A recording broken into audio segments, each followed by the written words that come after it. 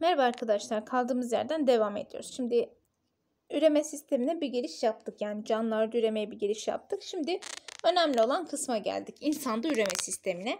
İlk olarak dişi üreme sisteminden daha sonra erkek üreme sisteminden bahsedeceğiz. Daha sonra dişilerde menstrual döngüden bahsedeceğiz arkadaşlar. Oogenez, spermatogenez bunlardan ve gebelikten doğumdan bahsedeceğiz ve bitireceğiz üreme sistemini. Sonraki videomuzda da büyüme ve gelişmeyi anlatacağım size. Şimdi dişi üreme sistemi. Arkadaşlar dişi üreme sistemini oluşturan yapılar yumurtalıklar. Daha sonra rahim, vajina ve serviks dediğimiz yapılar. Bunlar dişi üreme sistemini oluşturan yapılardır.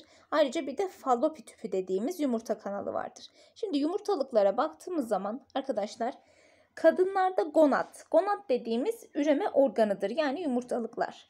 Rahmin her iki tarafında yer alıyor. Karın boşluğunda bulunuyor arkadaşlar ve ligament dediğimiz lig proteinlerle tutulan, yerinde tutulan bir çift yumurtalıktır. Kadınlardaki gonatlar bu şekilde oluşuyor. Her yumurtalığın dış tabakasında e, folikül dediğimiz keseler vardır. Kese gibi düşünebilirsiniz bunu. Foliküllerle doludur ve foliküllerin içerisinde de oosit dediğimiz arkadaşlar kısmen gelişmiş bir yumurta bulunuyor. Yumurtanın etrafında da onu destekleyen hücreler bulunuyor. Şimdi bu hücreler peki ne işe yarıyorlar? Bu yumurtanın etrafında bulunan hücreler hem yumurtanın oluşumu sırasında hem de gelişimi sırasında onu besliyor ve koruyor. Şimdi doğumda yani diyelim ki bir kız çocuğu doğdu. Doğduğu zaman her iki yumurtalıkta yaklaşık 1-2 milyon tane folikül vardır. 1-2 milyon folikül. Ama ergenlikle menopoz arasında yani ergenliğe girdik, yumurta oluşmaya başladı, menstrual döngü başladı. Menstrual döngüden başlamasından bitişine kadar yani menopoza kadar sadece 500 tane yaklaşık olarak 500 tane folikül olgunlaşıyor. Yani o 1-2 milyon folikülden sadece 500 tanesi olgunlaşıp atılıyor arkadaşlar. Zaten ortalama her ay bir tane yumurta menstrual döngü sayesinde dışarı atılıyor. 4 haftalık bir adet döngüsü vardır arkadaşlar. Adet döngüsünde ovülasyon dediğimiz olay. Ovülasyon nedir? Yumurtlama olayıdır. Yani yumurtanın yumurtalıktan çıkmasına biz ovülasyon diyoruz. Her bir ovülasyonla bir tane folikül olgunlaşıyor ve yumurtasını ne yapıyor? Dışarıya atıyor. Her ay bu döngü tekrarlanıyor. Buna da zaten menstrual döngü diyoruz arkadaşlar. Menstrual döngüyü de ayrıca anlatacağım. Bakın şurası nedir? Yumurtalıktır. Bakın şu kısım yumurtalık. Yumurtalığın dışarıya doğru uzandığı kısım yumurta kanalıdır. Yani diğer bir ismiyle fallopi tüpüdür. Şöyle fallopi tüpüdür. Daha sonra yumurtalığın devamı olarak bakın fallopi tüpünün devamı olarak geldi. Nereye? Rahim. Rahime gelir. Rahimin arkadaşlar şöyle çıktığı yerde de vajina ve serviks dediğimiz açıklık bulunur. Bakın vajinal açıklık. Burada şu isimleri bilmenize gerek yok. Bakın şuradaki işte glans, prepus bilmem ne onları bilmenize gerek yok vajinayı, serviksi, bakın vajina, serviks dediğimizde nedir? Serviks e, vajina ile rahimin arasında bulunan kısımdır arkadaşlar. Serviks dediğimiz kısım. Sadece bunları bilmeniz yeterlidir. Gelelim yumurta kanalına yani fallopi tüpüne. Arkadaşlar yumurta kanalı Şurada diyelim ki bir yumurta gelişti. Yumurta geliştikten sonra menstrual döngünün hemen hemen 14. gününe denk geliyor bu. 14. gününde bir yumurta dışarı atılır. Folikülden çıkar. Bu yumurtanın dışarı çıkması olayına bir ovülasyon diyoruz. Peki nereye gönderiliyor? Yumurta kanalına gönderiliyor. Yumurta kanalına gönderildikten sonra yaklaşık bir hafta burada bekliyor arkadaşlar. Bir hafta içerisinde eğer e, herhangi bir işte spermle karşılaşırsa sperm de vajinadan geldi buraya kadar hareket etti. Buraya kadar geldi. Eğer burada bir spermle karşılaşırsa döllenme gerçekleşiyor. O zaman döllenme nerede oluyormuş? Yumurta kanalında oluyormuş. Döllenme burada gerçekleşiyor ve döllenme olduktan sonra zigot ilk bölünmelerini burada gerçekleştiriyor arkadaşlar. Yani o segmentasyon dediğimiz olayların ilk zamanları nerede gerçekleşir? Yumurta kanalında gerçekleşiyor. Yumurta kanalının görevi de bu şekilde. Bakın yumurta kanalını döllenmenin gerçekleştiği yer olarak bileceksiniz. Bu önemlidir. Gelelim vajina ve vulva. Arkadaşlar vajina e, çiftleşme sırasında penisin yerleştiği kısımdır. Yani spermin boşaltıldığı kısımdır arkadaşlar. Kaslı ve esnek bir kısımdır burası. Aynı zamanda da bebeğin çıkış yeridir. Yani vajina şurasıdır. Bebeğin de çıktığı yerdir arkadaşlar. Rahime bağlanan kısımdır. Eee Vajina dışarıya vulva denilen e, dış genital organla dışarıya açılıyor arkadaşlar. Vulva dediğimiz yapıda bu şekildedir. Zaten serviksi de söylemiştim. Serviks de rahimle vajina arasında kalan kısımdır. Meme bezleri. Meme bezleri de yine üreme sistemiyle alakalı bir durumdur. Dişilerde süt salgılıyor arkadaşlar. Memenin içerisinde süt bezleri, bağ ve yağ doku bulunuyor. Erkeklerde büyümez ama dişilerde meme bezleri hormonların etkisiyle büyüyor. Özellikle östrojen hormonu. Böylece biz dişi üreme sistemini bitirmiş olduk. Şimdi erkek üreme sistemine geçelim. Menstrual döngüyü daha sonra anlatacağım. Arkadaşlar erkek üreme sistemine geçtiğimiz zaman erkek üreme sistemini oluşturan yapılar testisler, penis ve yardımcı bezlerdir. Yardımcı bezleri zaten ayrıca yine işleyeceğiz. Şimdi testislere baktığımız zaman testislerin içerisinde çok sayıda kırımlardan oluşan seminifer tüpçük dediğimiz yapılar vardır. Seminifer tüpçüklerde spermler üretilir. Bu tüpler arasında ise bağ doku içerisinde bulunan Leydig hücreleri vardır arkadaşlar. Leydig hücreleri testosteron salgılar ve diğer androjenler üretir. Yani erkeklik hormonlarını üretiyor ama bizim en iyi bildiğimiz hormon nedir? Testosteron hormonudur. Ee, çoğu memelilerde testisler vücut dışarısına çıkarılmıştır. Bunun sebebi de insanlarda arkadaşlar e, vücut sıcaklığında şöyle söyleyeyim. Vücut sıcaklığının hani 1-2 derece altında olduğu zaman sperm üretimi daha iyi gerçekleşiyor. O yüzden de testisler yani bu kese dediğimiz skrotum kesesi dediğimiz bu arada testislerin içerisinde bulunduğu keseye skrotum kesesi diyoruz. Bu skrotum arkadaşlar testis sıcaklığını vücut sıcaklığından yaklaşık 2 derece daha altında tutuyor. Bu yüzden de kişinin vücudunun dışarısındadır testisler. Şimdi testisler karın boşluğunda oluşur doğumdan hemen önce de skrotuma iner. Yani skrotum aslında boş bir kesedir ilk başta. Daha sonra arkadaşlar doğuma yakın bir zamanda ne yapıyor? Skrotuma iniyor testisler. Ee, vücut sıcaklığı spermin olgunlaşması için yeterince düşük olan bazı memelilerde yani balina fil gibi memelilerde testisleri vücut boşluklarında taşıyabiliyorlar arkadaşlar ama erkeklerde nedir? Yani insanların erkeklerinde testisler dışarıdadır. Gelelim kanallara. Şimdi kanallar da önemlidir. Burada kanallar çünkü hani spermin iletilmesini falan sağlıyor, olgunlaşmasını falan sağlıyor. Arkadaşlar seminifer tüpçüklerin etrafında bulunan kanallara biz epididimiz kanalları diyoruz. Epididimiz.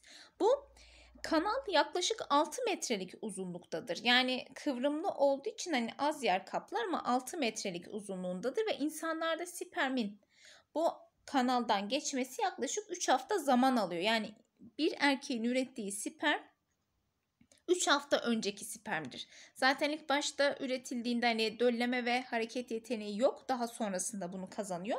Şimdi bu 6 metrelik kanalı geçerken sperm olgunlaşmasını tamamlıyor.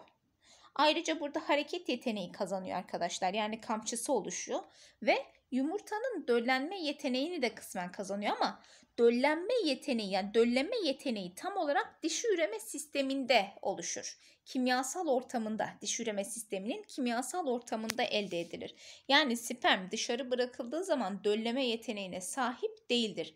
Dişi üreme sisteminin içerisine girdiği anda dölleme yeteneğini alıyor arkadaşlar. Burada ejekülasyon sırasında yani erkeklerde boşalma dediğimiz olay sırasında sperm e, her iki epididimisten oradaki kanallardan arkadaşlar kaslı bir kanal olan vaz deferansa gidiyor. Vaz deferanstan da zaten dışarıya idrar kesesinin etrafından dolanarak dışarıya arkadaşlar açılmış oluyor. Bu kanalı da ejekülasyon kanalı diyoruz. Burada erkeklerde ejekülasyon kanalları hem üreme hem de boşaltım sisteminin dışarıya açıldığı bir kanaldır arkadaşlar. Üretraya bağlanıyor. Dolayısıyla erkeklerde idrar ve spermin çıktığı yer aynıdır.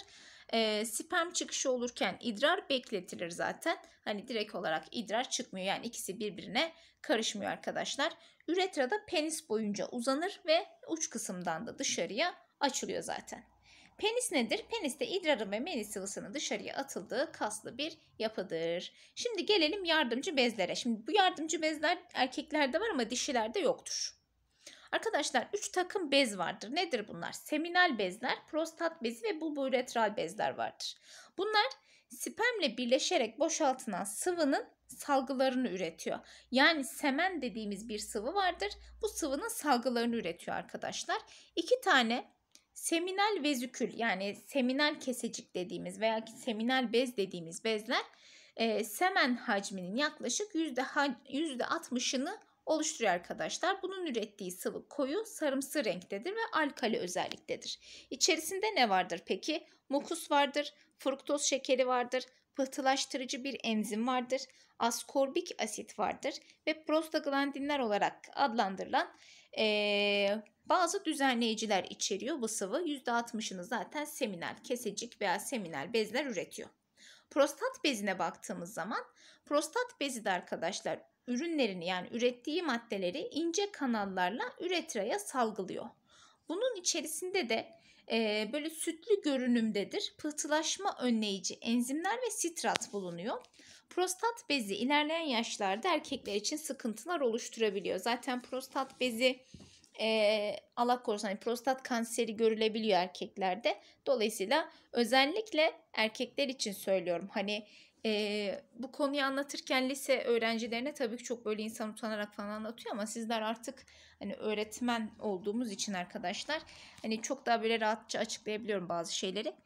E, erkeklerde ayakta tuvalete gitmek yani hani e, idrarı ayakta bırakmak maalesef prostat kanserine sebep olabiliyor. O yüzden de bu e, şu an söyleyeceğim kelime aklıma gelmedi. Dikkat edin yani bu konuda hani bunu söyleyeyim. Gerekli gör, görmediğiniz sürece arkadaşlar lütfen oturarak tuvaleti yapmaya çalışın. Şimdi gelelim bulbo üretral bezlere. Bunlar da prostatın altında bulunuyor ve üretra boyunca yer alıyor arkadaşlar. Bir çift bundan küçük bir bez. Ejakulasyon öncesi yani boşalma dediğimiz olay öncesinde üretrada kalmış olan işte asidik idrar kalıntısını nötralleştiren bir sıvı üretiyor arkadaşlar. Saydam mukus bir e, saydam bir mukus salgısı üretiyor. Bulbu üretral bezler bu şekilde. O zaman burada en önemli olan hangisiymiş? Prostat beziymiş. Prostat bezi ileride sıkıntılar oluşturabiliyormuş. %60'ını da kim üretiyormuş? Seminal bezler üretiyormuş. Evet erkeklerdeki bakın seminal kese hemen şurada bulunan kesedir arkadaşlar.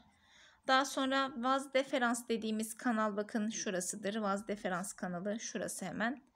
E, ejekulasyon kanalı dediğimiz kanal hemen vaz deferansın birleştiği yer zaten şu kısım. Prostat bezi bakın hemen arkadaşlar şurada prostat bezi şu kısımda. Yine bulboüretral bez dediğimiz şurayı sileyim görünsün. Bulboüretral bez dediğimiz bez de şurada hemen küçük bir bez zaten. Testislerin hemen altında şeylerin e, prostat bezinin hemen altında bulunuyor dedik. Zaten buradaki kanalda da ne yapıyor? Penisle üretrayla dışarı atılıyor. Evet. Şimdi burada bir de geri bildirim mekanizmasından bahsetmek istiyorum. Şimdi dişilerde ve erkeklerde sonuçta üremeyi etkileyen hormonlar var. Bu hormonlara bağlı olarak geri bildirim mekanizması da var. Arkadaşlar hipotalamus GnRH dediğimiz gonadotropik e, salgılatıcı faktörler üretiyor ve hipofiz bezinin ön lobunu uyarıyor. Hipofiz bezinin ön lobunu uyarınca iki tane hormon salgılanıyor buradan. Biri FSH'tır, diğeri de LH'tır. FSH folikül uyarıcı hormon, LH da luteinize edici yani luteinleştirici hormon.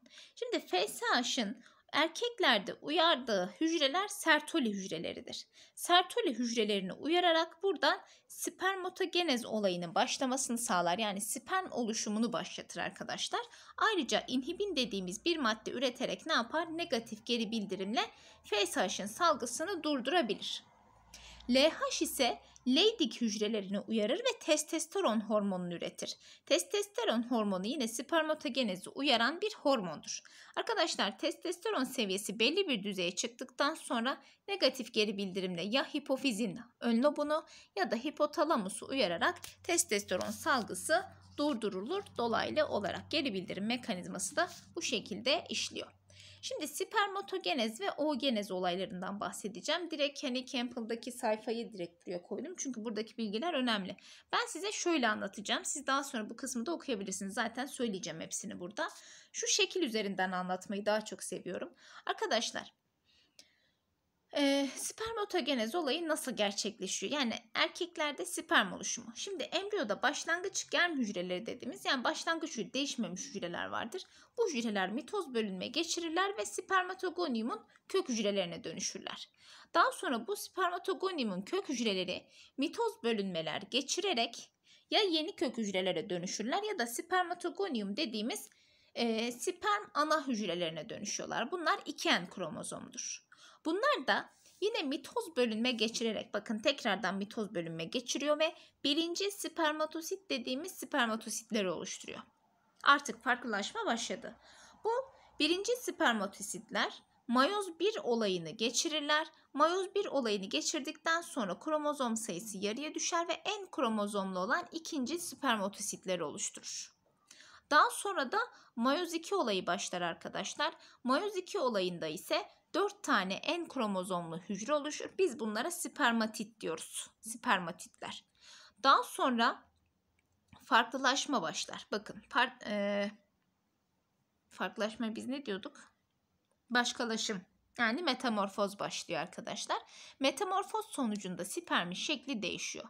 Sperm hücresi bakın şöyle Hani e, baş kısmında akrozom olan, akrozom dediğimiz nedir? İçerisinde enzim bulunduran bir yapıdır ve dişi üreme sistemine giriş yaptıktan sonra yumurtayı döllerken o yumurta zarının parçalanmasını sağlar arkadaşlar. Akrozom dediğimiz yapı uç kısmında akrozom. İçerisinde ne vardır? Çekirdek vardır. Daha sonra bir boyun bölgesinden, bakın baş bölgesi, boyun bölgesi ve kuyruk bölgesinden oluşur. Boyun bölgesinde bol miktarda mitokondri vardır. Bu mitokondri sayesinde hareketi için gerekli olan ATP üretir. Kamçının hareketini sağlar arkadaşlar buradaki üretilen ATP'ler. Döllenme sırasında sadece baş kısım girer içeriye. Kuyruk ve boyun kısım girmez. O yüzden de döllenmeye erkeklerdeki mitokondri katılmaz. Sadece dişilerdeki mitokondri döllenme olayına katılıyor. Dolayısıyla mitokondriyal DNA'mız kimden geliyor? Annemizden geliyor. Tamam mı? Unutmayın bunu. Gelelim oogenez olayına. Ha bu arada bakın şöyle detaylı olarak şeklini de gösterelim. Arkadaşlar yine mitokondrinin bulunduğu kısım bakın boyun bölgesi. Baş kısmında akrozom dediğimiz bölge vardır. Burası yumurta zarının delinmesini sağlayan enzimler üretiyor. Bir de çekirdek dediğimiz bölge vardır. Çekirdek zaten döllenmeye katılıyor. Kuyruk vardır arkadaşlar kamçısı. Bu da yine hareketini sağlıyor sperm. Evet gelelim şimdi oogenez olayına. Oogenez biraz daha farklı gerçekleşiyor. Şimdi burada yumurtalıkların içerisinde e, yine erken germ hücresi dediğimiz hücrelerde arkadaşlar mitoz bölünmeler gerçekleşir ve mitoz bölünmeler sonucunda da ne oluşuyor? Oogonium dediğimiz e, yumurta ana hücreleri oluşuyor. Daha sonra bu yumurta ana hücreleri tekrardan mitoz bölünme geçiriyorlar ve birincil oosit oluşuyorlar. Birincil oosit mayoz 1'in Bakın mayozun profaz evresinde, mayoz 1'in profaz bir evresinde duruyor. Burada bölünme. Şuradaki olaylar nerede gerçekleşir? Embriyoda. Yani biz annemizin karnındayken bu olaylar gerçekleşiyor ve yumurtalarımız mayozun profaz bir evresinde bekliyor ergenlik dönemine kadar. Ergenlik dönemi geldi.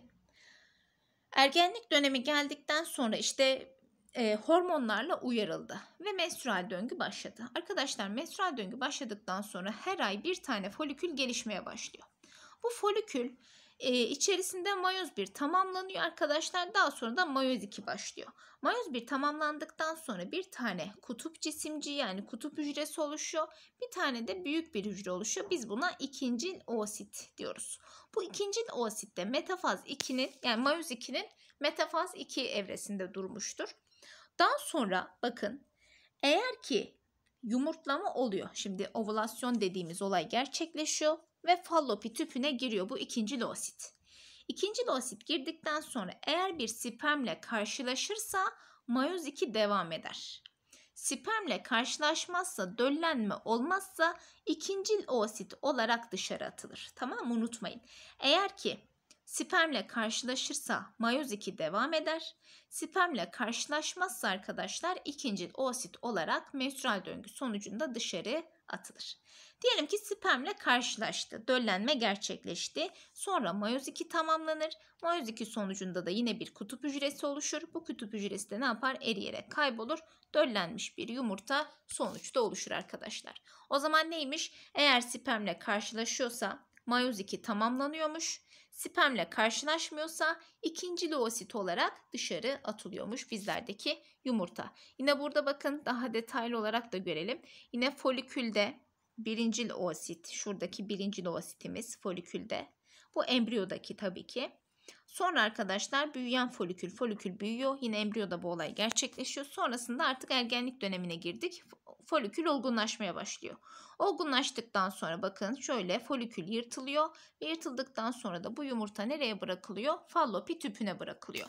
Eğer ki döllenme gerçekleşirse e, yumurta mayoz ikisini tamamlıyor ama döllenme gerçekleşmesi arkadaşlar tamamlanmıyor. Yumurta çıktıktan sonra şöyle oluşan böyle yağ görünümündeki yapıya biz korpus luteum diyoruz. İçerisi yağ damlacıklarıyla doluyor çünkü. Bu korpus luteum sarı cisim olarak da isimlendirilir. Daha sonra işte döllenme olmazsa korpus luteum parçalanarak yine yumurtayla birlikte dışarı atılıyor arkadaşlar. Eee anlatabileceğim kadar böyle biraz daha şey anlatmaya hani anlaşılır anlatmaya çalıştım aslında size. Umarım anlayabilmişsinizdir. Çünkü dişilerdeki bu Oogonium olayı, oogenez olayı daha böyle karmaşıktır. Hani erkeklerdeki gibi basit değil, daha karmaşıktır. Zaten kadınlarda her şey karmaşık. Duygular karmaşık, oluşum karmaşık, her şey karmaşık. Onun gibi oogenez de biraz karmaşık arkadaşlar. Dişileri anlaması, kadınları anlaması biraz zor. Evet, böylece biz dişi üreme sistemi ve erkek üreme sisteminin genel anlamda bitirdik. Şimdi dişilere özel bir olayımız var. Menstrual döngü. Bu menstrual döngüden bahsetmek istiyorum. Menstrual döngünün dört tane evresi vardır. Folikül evresi, ovülasyon evresi, daha sonra e, korpus luteum evresi ve menstruasyon evresi vardır. İlk olarak folikül evresi. Şimdi arkadaşlar bu evreleri ben size şöyle bir cetvel üzerinde göstereyim. Mesela bir sayı doğrusu olduğunu düşünün. Şöyle 0-28 gün. Genelde 28 gün soruyor. Şurası 14 gün. Şöyle 7, şuraya da 21 diyelim. Şimdi 0 ile 14 gün arasındaki evre folikül evresidir. Folikül. 14. günde ortalama olarak ovülasyon olayı gerçekleşir. Yani ovülasyon evresi buradadır. 14. gündedir. Yani bu kişiden kişiye değişebilir. 13 olabilir, 15 olabilir, 12 olabilir arkadaşlar. Kişiden kişiye değişir. Daha sonra 14 ile 28. gün evresindeki arasındaki evre yani bir 14 günlük evrede ne diyoruz? Korpus luteum evresi diyoruz. Peki menstruasyon evresi nerede? Menstruasyon evresi Şöyle şu renkle yapalım. Menstruasyon evresi folikülün içerisinde gerçekleşir. Şöyle şurada 5 günlük bir evredir. Kişiden kişiye değişebilir. Daha uzun da sürebilir arkadaşlar. Burası da nedir? Menstruasyon evresi. Yani kadınlarda bu adet dediğimiz olay gerçekleşirken aslında yeni bir yumurtada oluşmaya başlıyor. Tamam mı? Yani sizin adetinizin başladığı birinci gün aslında ikinci bir folikül yani bizim yumurtalıklarımızda bulunan bir yumurtada büyüyüp gelişmeye başlıyor arkadaşlar. Folikül evresiyle menstruasyon evresi birbirinin içinde gerçekleşir. Menstruasyon evresi folikülün folikül evresinin içerisinde gerçekleşen bir olaydır. 10-14 gün sürer dedik folikül evresi için. Folikül yumurtanın oluştuğu kesedir unutmuyoruz. FSH'ın etkisiyle arkadaşlar yumurta oluşumunu tamamlıyor. Gelişen foliküle biz ne diyoruz? Graf folikülü diyoruz. Graf folikülü. Folikül geliştikten sonra da östrojen salgılamaya başlıyor arkadaşlar. Bu östrojen de ne yapıyor? Uterus yani rahim iç duvarını uyarır. Buradaki mitozu sağlar ve kılcal damar bakımından da zenginleşmesini sağlıyor. Folikül yumurtalığın yüzeyine kadar geliyor. Bundan sonra hangi evre başlıyor? Ovülasyon. Ovülasyon evresi ortalama 3-4 gün sürüyor arkadaşlar. Ben burada 14. gün olarak gösterdim ama öncesindeki 13'ü sonrasındaki 15'i de alın. Yani 13 ile 15 arasında gerçekleşir. Burada FSH azalıyor. Çünkü artık yumurtlama olayı gerçekleşti ya. LH artıyor. Çünkü LH'ın etkisiyle yumurtlama olur. Unutmayın. Ovülasyon LH'ın etkisiyle olur. Yani biz LH ile ilgili bir grafik çizeceğimiz zaman ki en son göstereceğim grafikleri. Bakın LH belirli bir seviyede geri geri 14. günde artar. Sonrasında azalır devam eder. 14. günde LH seviyesinin en yüksek olduğu evredir arkadaşlar. E, LH ne yapıyor? Yumurtanın yumurta kanalına yani fallopi tüpüne çıkmasını sağlıyor ve menstrual döngünün yaklaşık ortalarına denk geliyor. Gelelim korpus luteum evresine yani 14. günden sonraki günlere geliyoruz arkadaşlar. 28'ine kadar olan günlere. Bu kişiden kişiye değişir unutmayın. 14 10 14 gün sürüyor bugün. Bu da yine aynı şekilde parçalanan folikül. Şimdi folikül parçalandı ya. Hani yumurta çıktı. İçerisine ne doluyor? Yağ damlacıkları doluyor. Bu yüzden de biz bu yapıya korpus luteum diyoruz. Yağ damlacıkları sarı renkli olduğu için sarı cisim diyoruz arkadaşlar. Korpus luteumda yüksek oranda progesteron, az miktarda da östrojen salgılıyor. Progesteron ve östrojen ne yapıyor? Uterusu uyarıyor. Yani rahimi uyarıyor ve kılcal kan damarı ve mukus bakımından zenginleştiriyor. Eğer döllenme varsa progesteron embriyonun uterusa tutunmasını sağlıyor. Bakın bu önemli. Progesteron seviyesi döllenme sırasında eğer düşerse yani döllenme olduktan sonra progesteron seviyesi düşerse ne olur? Düşük gerçekleşir. O yüzden progesteron oldukça önemli bir hormondur.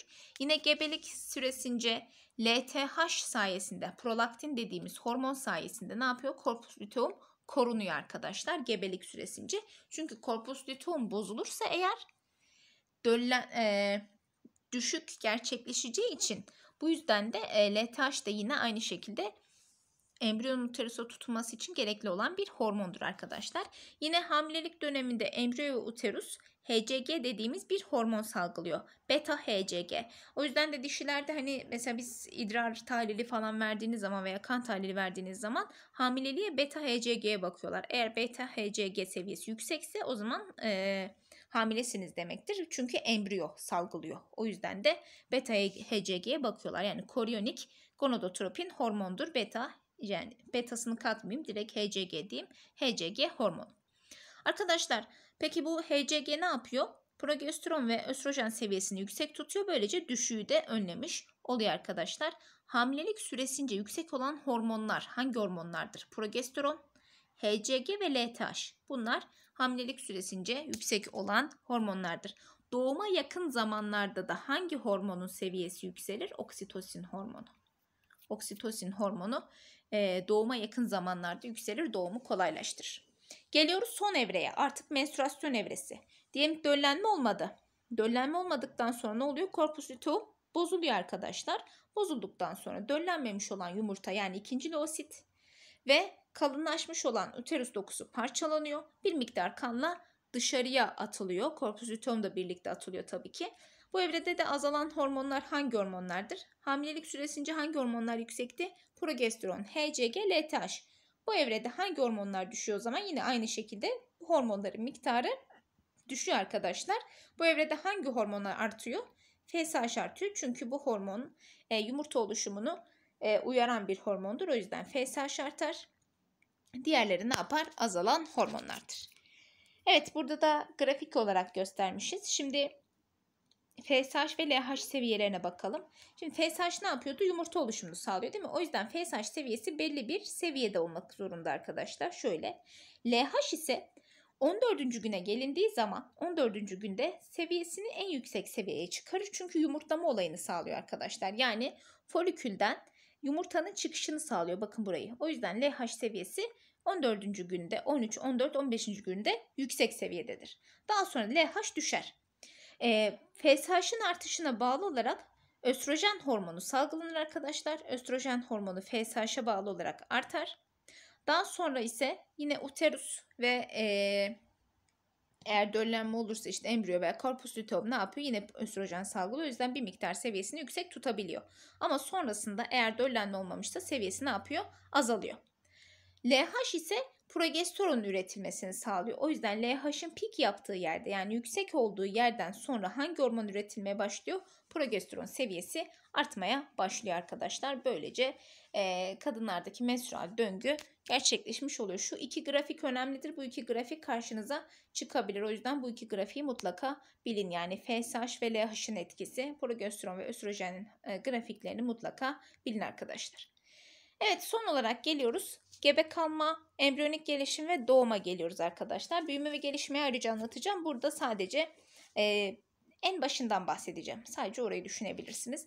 İşte hamilelik sırasında ilk 3 ayda, ikinci 3 ayda ve son 3 ayda neler oluyor bunlara bakacağız.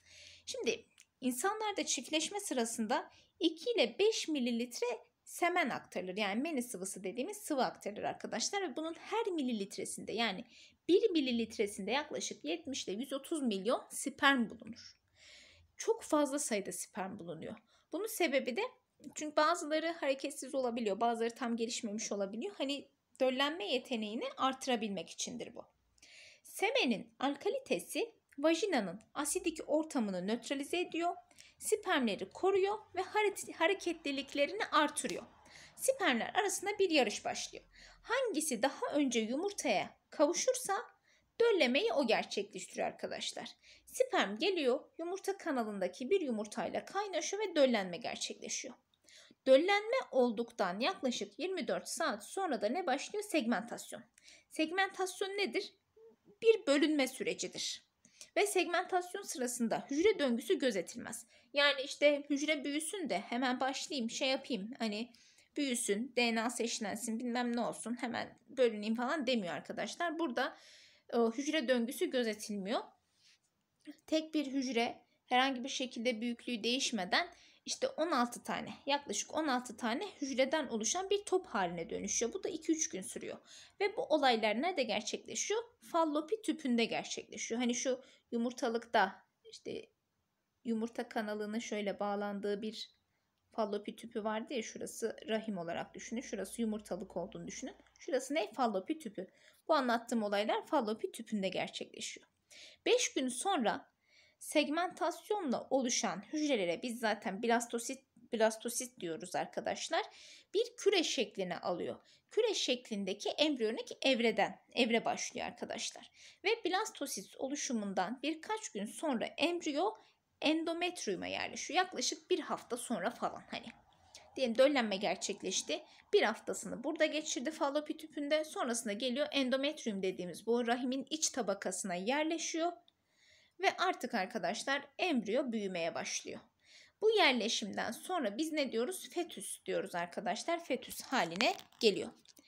Embriyonik bir hormondur. Hani söyledik ya HCG, koryonik gonadotropik hormon dedik biz buna. Bu HCG arkadaşlar hipofizdeki LH hormonu gibi davranıyor ve gebeliğin ilk birkaç ayında korpus luteum'dan progesteron ve östrojen hormonlarının salgılanmasını sağlıyor. Yani HCG, buradaki HCG gebeliğin sürdürülmesini sağlıyor bir nevi. Eğer gebelik sırasında bu HCG azalırsa düşük gerçekleşir. Korpus luteum bozulur, progesteron düşer ve böylece düşük gerçekleşir arkadaşlar. Oldukça dikkat edilmesi gereken bir zaman zaten bu zaman. Gebelik süresi yumurtanın döllenmesinden başlar yaklaşık 266 gün yani 38 hafta ya da arkadaşlar son adetten itibaren yani son adet tarihinden itibaren 40 haftadır.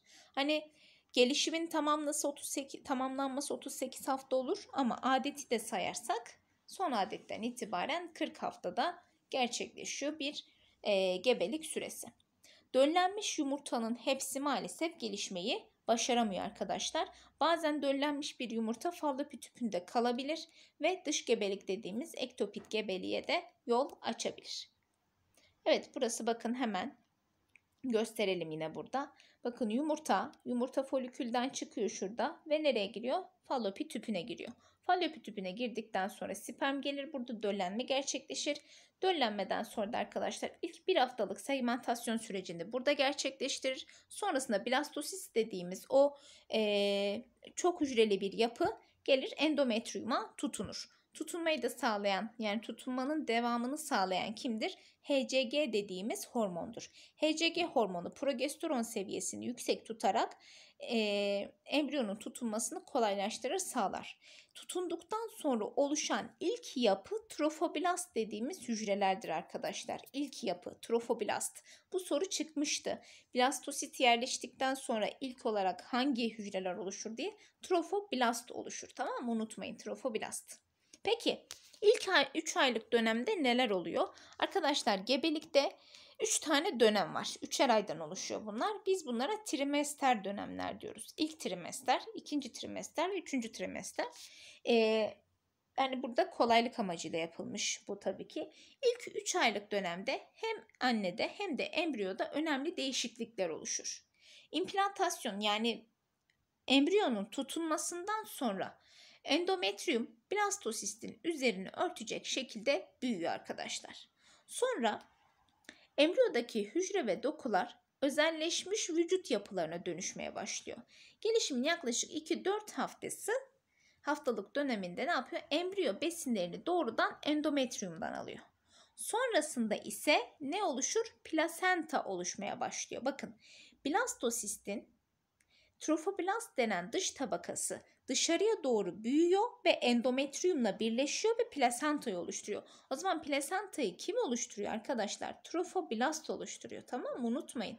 Trofoblast. İşte bu blastosistin e, trofoblast dediğimiz dış tabakası az önce gösterdik ya şurada. Şu kısım büyüyor, büyüyor, büyüyor, geliyor endometriumla birleşiyor. Birleştikten sonra da neye dönüşüyor? Plasenta dediğimiz yapıya dönüşüyor arkadaşlar. Hem embriyonik hem de anneye ait kan damarlarını içerir plasenta ve yaklaşık 1 kilogram ağırlığındadır. Ee, zaten doğumdan sonra da plasenta atılıyor arkadaşlar doğum sırasında. Anne ve embriyo arasında e, plasenta ile tabii ki besin alışverişi gerçekleşiyor. Mesela madde difüzyonu burada gerçekleşir. Yine besinler, bağışıklık korunması, yine solunum gazlarının alışverişi burada gerçekleşiyor. E, metabolik atıkların atılması da yine plasenta sayesinde gerçekleşir. E, ve göbek bağındaki yani o en plasentadaki damarlar bebeğe göre isimlendiriliyor. Bebekten çıkan damara göbek bağı atar damarı, bebeğe gelen damara da göbek bağı toplar damarı deniliyor. Bebekten çıkan damar kirli kan mı içerir, temiz kan mı içerir? Bebekten çıkan kirli kan değil mi? Çünkü anne onu temizleyecek. O zaman bebekten çıkan bu göbek bağı atar damarı. Normalde atar damarlar temiz kan taşıyor dedik ama göbek bağı atar damarı terstir. Aynı akciğer gibi göbek bağı atar damarında kirli kan bulunur. Göbek bağı toplar damarında da temiz kan bulunur arkadaşlar. Onu da söylemiş olalım. Gelişimin ilk ayında embriyo ikiye ayrılabilir arkadaşlar. Biz buna tek yumurta ikizleri diyoruz ve böylece monozigotik yani tek yumurta ikizleri meydana gelebiliyor. Ya da ee, diyelim ki menstrual döngüde, tek bir döngüde iki tane folikül olgunlaşıp her ikisi de birbirinden bağımsız olarak döllenebilir. Böyle döllendiği zaman da iki tane farklı embriyo oluşuyor. Biz buna da çift e, yumurta ikizleri yani dizigotik yumurta ikizleri diyoruz. Bunlar da birbirinden farklı oluyor. Şimdi tek yumurta ikizleri tek bir embriyonun ikiye ayrılmasıyla oluşuyor. Bu yüzden de bütün özellikleri birbiriyle aynıdır. Ama çift yumurta ikizlerinde ayrı ayrı döllenme olduğu için bunlar birbirinden farklı yapıya sahiptirler. Evet burada bakın göbek bağını göstermişiz. Göbek kordonu. Burada 5 haftalık bir embriyo arkadaşlar. 5 haftalık yani 1 ay 1 haftalık bir embriyo. Burada 14 haftalık bir embriyo yani yaklaşık 3,5 aylık bir embriyo. Burada 20 haftalık yani yaklaşık 4 aylık pardon 4 değil 5 aylık bir embriyodan bahsediyoruz. 5 aylık bir embriyo gördüğünüz gibi gayet insansı bir görüntüye sahiptir. Gelelim İlk 3 aylık dönemde arkadaşlar vücut organları oluşur. Organogenez dediğimiz olay gerçekleşiyor. Bunu büyüme ve gelişmede detaylı olarak anlatacağım. 8 haftalık olduğunda artık tamamen tüm organlar tam olarak gelişmemiştir ama tüm organlar bulunur arkadaşlar ve 8 haftalık olan bir embriyoya biz artık ne diyoruz? Fetüs diyoruz. Tamam mı? 8 haftalık olduğu zaman artık onun ismi fetüstür. Kalp atımı ise 4. haftada başlıyor. Yani 1 aylık olduğu zaman artık kalp atımı başlıyor. İlk 3 aylık dönemin sonunda fetüs farklılaşmıştır ama henüz 5 santimdir. Yani eli kolu bacağı her şey belli oluyor ama daha 5 santim boyundadır. Yani oldukça küçüktür. Bu dönemde tabii ki annedeki menstrual döngü duruyor arkadaşlar. İkinci 3 aylık döneme geldiğimiz zaman yani 4. ay ile 6. ay arasında. Burada rahim gebeliği belli edecek şekilde genişlemiştir. İlk 3 aylık dönemde rahim çok genişlemiyor. Çok belli olmuyor. Fetüs 30 santim boyuna ulaşıyor. Çünkü bakın 5 santimden bir anda 30 santime çıkıyor. Bir de bunun içerisindeki sıvı falan var. Onunla birlikte tabii ki gebelik oldukça belli olmaya başlıyor. Anne fetüsün hareketlerini hissedebilir. Özellikle 5. ayda kaslar gelişiyor. Bu yüzden 5. ayda tam olarak hissedebiliyor. HCG azaldığı için hormon düzeyleri düşüyor arkadaşlar. Korpus luteum bozuluyor. Gebeliği sürdüren hormon olan progesteron da nereden salgılanmaya başlıyor? Plasentadan salgılanmaya başlıyor. Korpus luteum bozulduğu için annede akıntı olayı gözükebiliyor. Son 3 aylık döneme geldiğimiz zaman yani 3. trimestere geldiğimiz zaman fetüs artık 3-4 kilogram ağırlığa ve 50 santim boya ulaşır. Hareketliliği azalıyor çünkü yeri daralıyor arkadaşlar. Yeri daralıyor anneye baskı yapıyor. Annenin e, mesanesine baskı yapıyor. Bu yüzden de anne sık sık idrara çıkmaya başlıyor. Doğum sırasında da fetüs ve plasenta arkadaşlar vücudun dışına e, itiliyor rahim kasları sayesinde ve bunu da kim yapıyor? Tabii ki oksitosin hormonu yapıyor. Doğumu kolaylaştırıyor. Evet bakın şuradan servisten vajinadan dışarıya çıkıyor arkadaşlar. Vajina genişliyor. Vajinadan dışarı çıkar. Göbek kordonu da çıkar. Göbek kordonu kesildikten sonra zaten anne ile birlikte kesi, e, pardon plasenta ile birlikte kesede dışarı çıkıyor. Evet burada doğumu şöyle bir gösterelim. Bakın Yumurtalıklardan şimdi bir e, bir yapı salgılıyor, bir madde salgılıyor arkadaşlar. Bu estradiol dediğimiz bir madde rahimdeki oksitosin reseptörlerini uyarıyor. Uyardıktan sonra da e, oksitosin zaten salgılanıyor ya salgılandıktan sonra bu reseptörler ne yapıyor? Uyarıyı alıyorlar. Uyarıyı aldıktan sonra rahim kasları uyarılır. Daha sonra plasenta arkadaşlar plastoglandinler yapmaya başlar. Plastoglandinler de rahimin daha çok kasılmasını uyarıyor ve böylece e, doğum kolaylaşmış oluyor. Yani doğum sancıları başlıyor, doğum sancıları artıyor, doğum gerçekleşiyor. Evet, üreme sistemini bitirmiş olduk böylece. Birazcık uzun sürdü ama anlattık hepsini. Umarım anlatabilmişimdir. Sonraki videoda büyüme ve gelişme videosunda görüşmek üzere. Hoşçakalın.